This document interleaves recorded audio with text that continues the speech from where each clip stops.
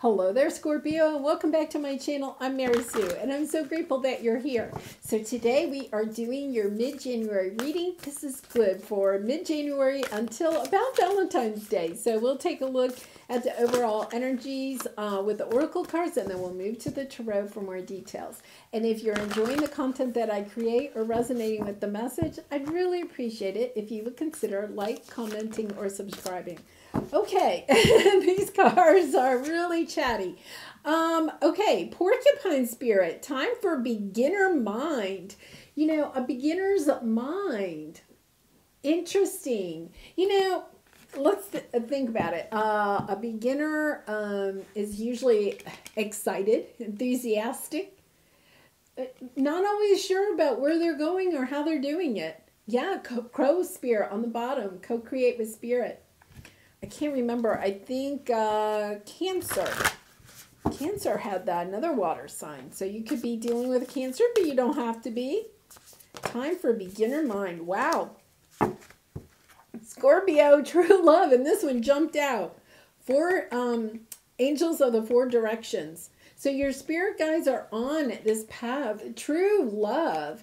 You know, um, the true love is about somebody that can come in and um, you know be a new true love for you. Or it can sometimes talks about you know loving yourself loving your journey loving this new direction you're going in. Maybe stepping into an energy of having um, you know true love for yourself maybe for you know the first time. Like you're really stepping embracing that energy of self-love and self-care so let's see. Three of Wands. You've been waiting for this to happen. This new, whatever this is. We're going to clarify and try to find out. Yeah, lovely energy. King of Swords. You don't have the clarity. You don't know what, exactly where you're going. but the King of Swords is also Gemini, Libra, Aquarius energy. This is in your obstacle. This is, you know, something that is preventing you from getting what it is that you want. So let's see what that is.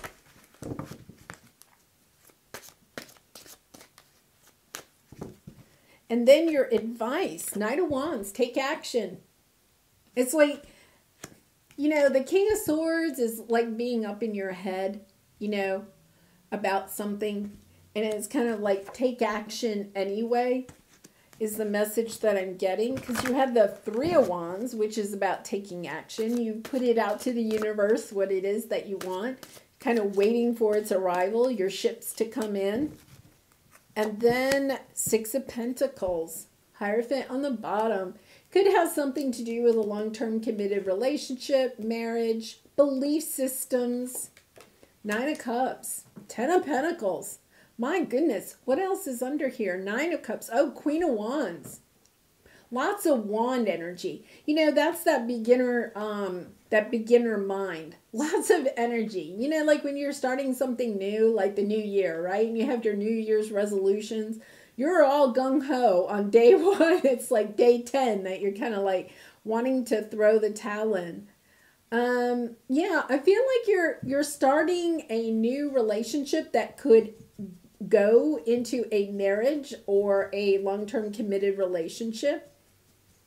And it's about, you know, loving this relationship, putting the energy into this relationship, but also loving yourself, like having the healthy boundaries that you may need in this relationship. Um, about staying aligned with who you are, even though you're starting this new relationship. Um, okay, the other message I'm getting is to recognize that you don't, when you start something new, you don't have the baggage of what you've had with this person or this situation in the past. So to begin with a clean slate, you know, don't, you know, the porcupine has all of these, um, you know, uh, pines. um, you know, stickers or whatever they're called. I do not know. Um, but they're all sticking out, right? It's kind of like, you know, don't um, it's about embracing the new and not bringing the baggage of the past into this new relationship or situation. Hierophant again on the bottom. This really has to do with either a long term committed relationship. Maggie is, she is really, she, uh, she's she's ready. she's ready to um, go play or do something, right? So let's see. Yeah, Ten of Cups. Wow. Four of Pentacles on the bottom. You know, kind of holding back, needing to have a little bit of patience with this. there see, here's this new starting again, right? A new relationship, a new business. For some of you, maybe a new baby um, a new family, a new life for yourself. Like some of you could be like, you know, I'm going to go get the life I've always wanted. I feel like this is something that you've really wanted because it's your 10 of cups. You're really joyful about this. And it's taken some patience for this to come in. You've been waiting a very long time. Huh, very long.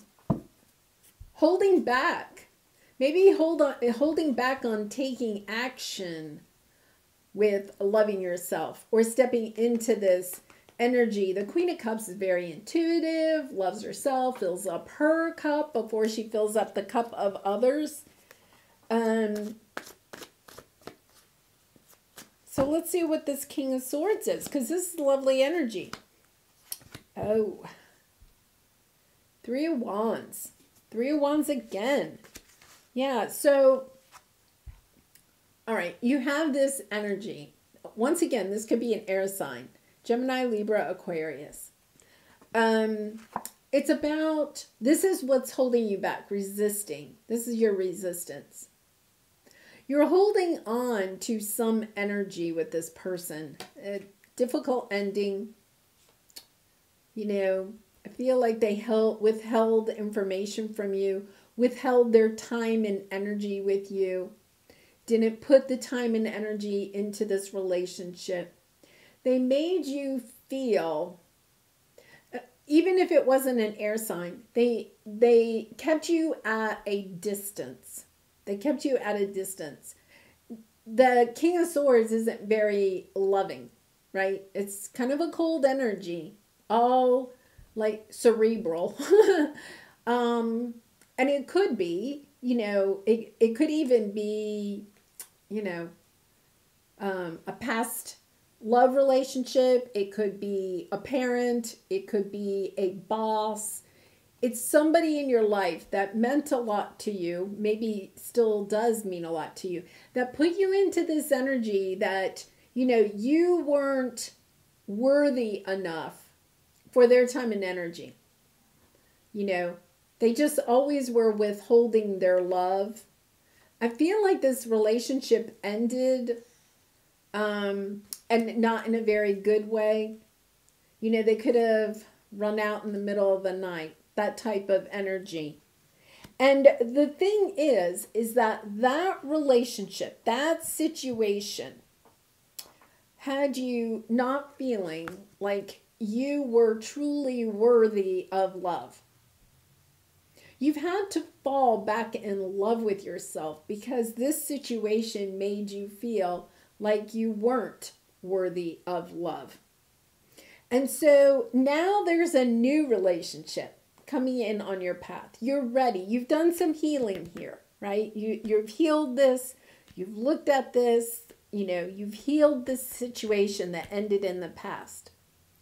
And there's somebody new coming on your path or a new opportunity. If you're feeling like this is you know uh, job or career oriented it feels very much like a love relationship but it does not have to be.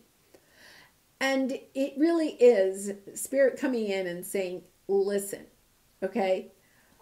You got over this. You did the healing here. You leave the baggage in the past do not take the hurt, the pain from this situation and bring it into this relationship. In this relationship, you get to start anew. It's as if this relationship had to teach you some lessons about what it is that you really want. You know, you may have thought that this was what you wanted, this person, this situation, right? And then you got into it and you realized what it really was. Lots of mind and games here, I'll have to say. Lots of swords action, right? And now you're getting back into your heart space. You're following your heart instead of whatever this, um, you know, situation was. So let's see what the Knight of Wands is. The Knight of Wands. Yeah, you're getting, oh my gosh, I got a lot of wands. I love it. Page of Swords. Let's see, you're getting some information, new insight about love, about this new love or about I feel like it's love in general because you have a hierophant coming up that's about belief systems around love. So, you have a knight of wands coming in. Somebody that has a lot of passion. There's a lot of physical attraction in this situation.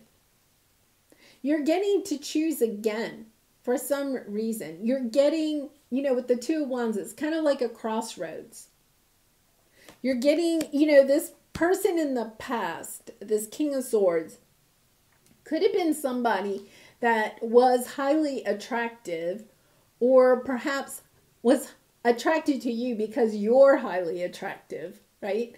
It could have been a very physical relationship, but it wasn't an emotional relationship.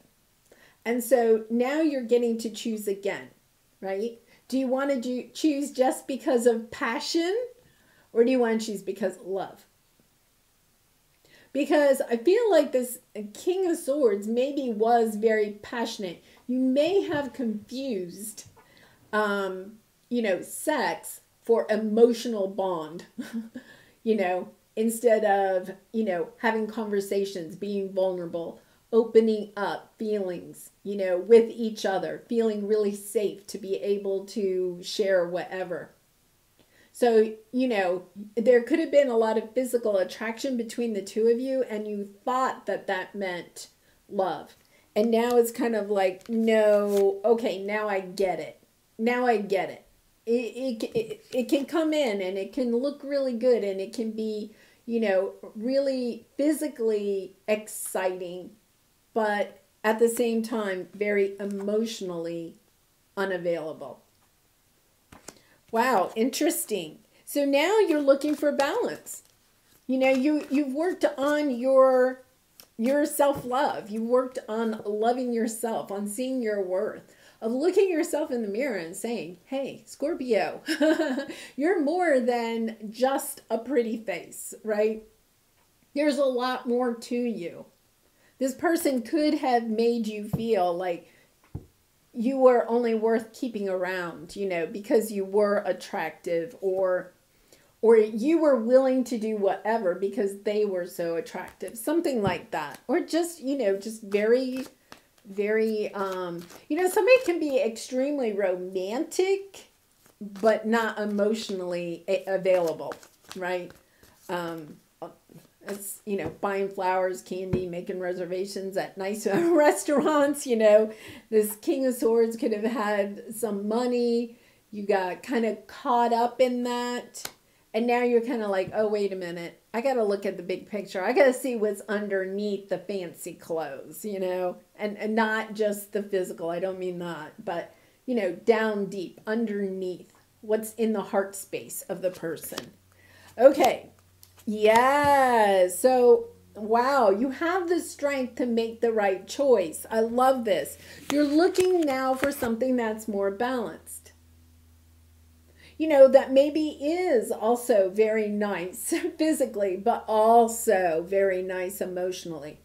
That when you share your feelings, this person also shares their feelings and they're true and authentic, you know. Um, yeah, you're wanting a fresh start a new love. I really feel like this is kind of like a new love. Somebody that's going to offer their feelings, that wants to work on sharing their feelings. If it is somebody coming back from the past, you know, I would just take it slow. I would have a beginner's mind with this. Look, you know, take fresh eyes to it and, you know, look to make sure that they're really offering their feelings and not just, you know, the physical attraction part. Well, Scorpio. Oh, this is kind of, you know, getting ready for Valentine's Day. so let's see what we have here with the universe. Cosmic journey, the hero of your cosmic journey. The hero part here is that you are recognizing your worth. You are recognizing that you deserve somebody, that it's more than just a physical attraction, that you want an emotional connection in your romantic love life. Well, I'll have to say that the water signs, these are general readings, though all three water signs have gone to the relationship side. Um, so, interesting. I think part of that is, you know, we have the full moon in Cancer next week. We're having the Mercury retrograde, Venus retrograde.